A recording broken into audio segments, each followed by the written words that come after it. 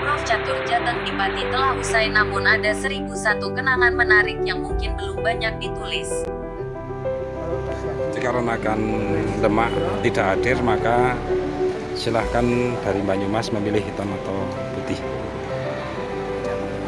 Penutupan kejur Prof Catur Jateng di Pati kemarin, ada satu pertandingan Armageddon untuk memperebutkan juara ketiga di catur cepat junior kategori FG yang sempat menyedot perhatian. Pasalnya bukan tentang apa yang terjadi di atas papan tetapi justru karena satu pemain tak kunjung datang hingga dua menit sisa terakhir. Meski akhirnya si anak Lora Dwi Suryo buruan datang, tapi segalanya tampak terlambat.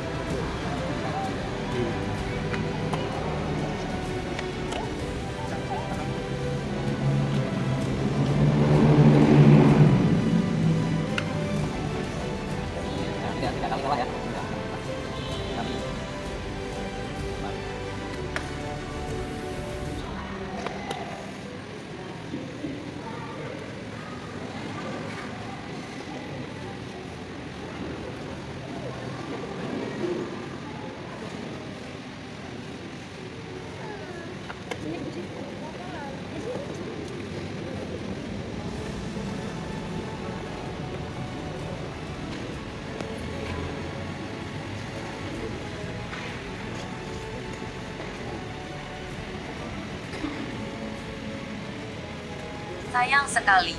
Dan selamat untuk Rafa yang berhasil membawa Banyumas menjadi juara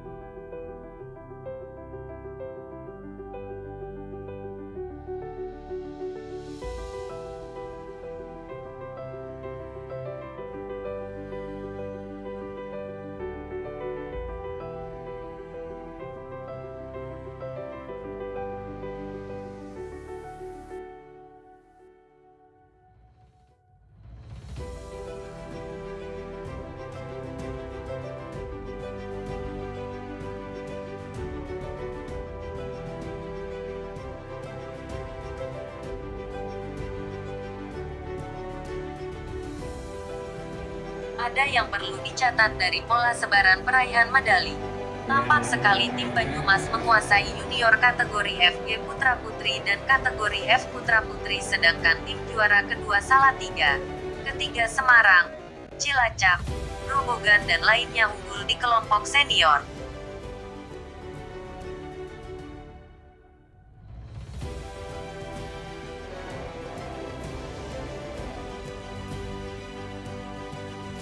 Satu Srikandi peraih perunggu tim PON Jateng di Papua lalu. Angel Root nyaris mempersembahkan emas lantaran kalah Solkov tipis dari juara yang lucunya tidak sempat bertemu sepanjang enam babak. Berikut ini fragmen kemenangannya yang super atas pecatur Salatiga Trimurni.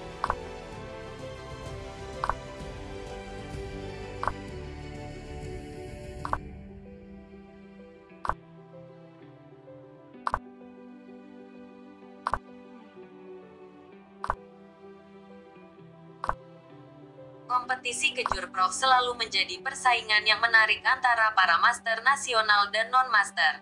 Tidak heran bila arena ini bukan lagi zona nyaman bagi para master nasional, dan sudah terbukti beberapa MN bertumbangan. Adalah Joko Waskito, pecatur kawakan Semarang yang sudah aktif sejak tahun 1980-an. Ikut juga menjadi bintangnya dengan menumbangkan Master Vide Edianto di kategori veteran. Bahkan di sini Joko berhasil meraih medali perunggu.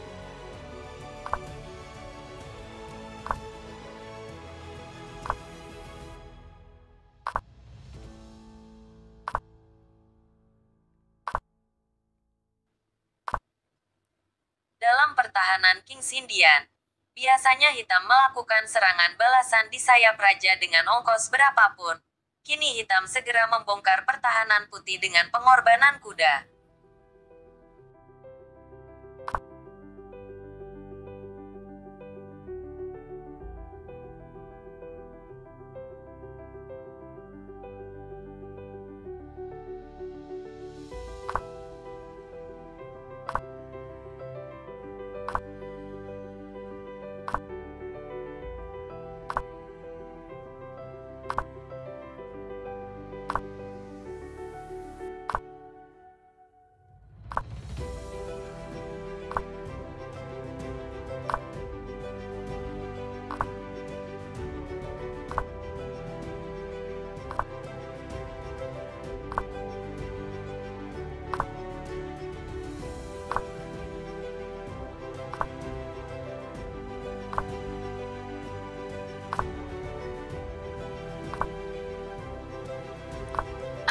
Juga, Vide Master Edianto dibuat tak berkutik sama sekali.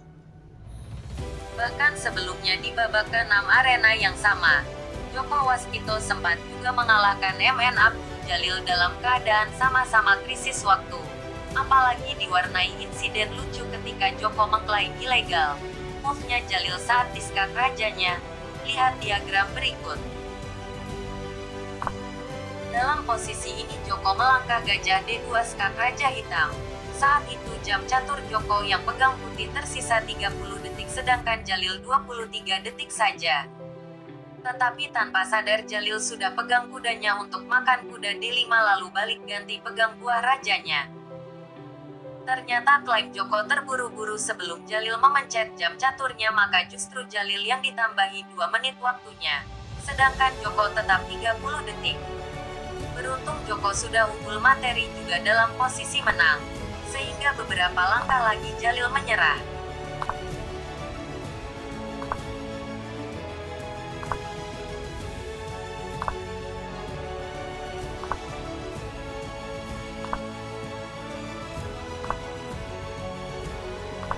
Di sini hitam menyerah. Sampai jumpa di Kejur Prof Catur Jateng di Kebumen 2023.